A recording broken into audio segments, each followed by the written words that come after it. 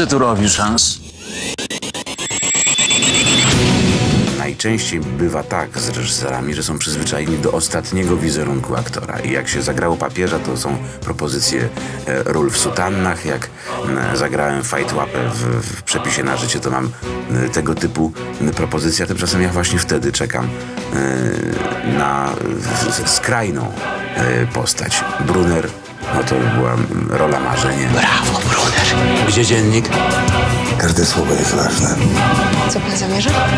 Powstrzymać Brunera. Kiedy ja pierwszy raz przyjechałem do Malborka i zobaczyłem ten tłum em, Niemców i te maszyny wojenne z II wojny światowej, to miałem wrażenie, że to właśnie Quentin Tarantino kręci kolejną część Inglourious Basterds. Tymczasem to była stawka większa niż śmierć Patryka Wegi.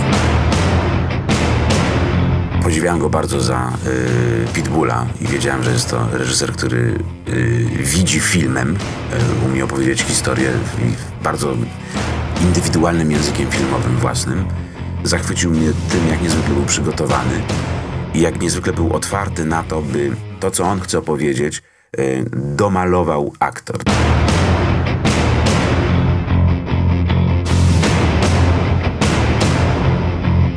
Myślę, że do tego filmu wcale nie trzeba zachęcać. Znaczy, sam pomysł zrealizowania mm, historii Hansa Klossa i Hermana Brunera yy, po latach jest już pomysłem trafionym w dziesiątkę. Wyciągnąłeś łapy po majątek Rzeszy.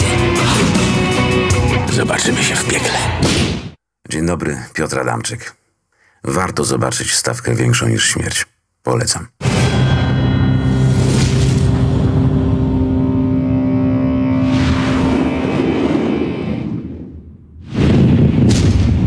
J23 znowu nadaje.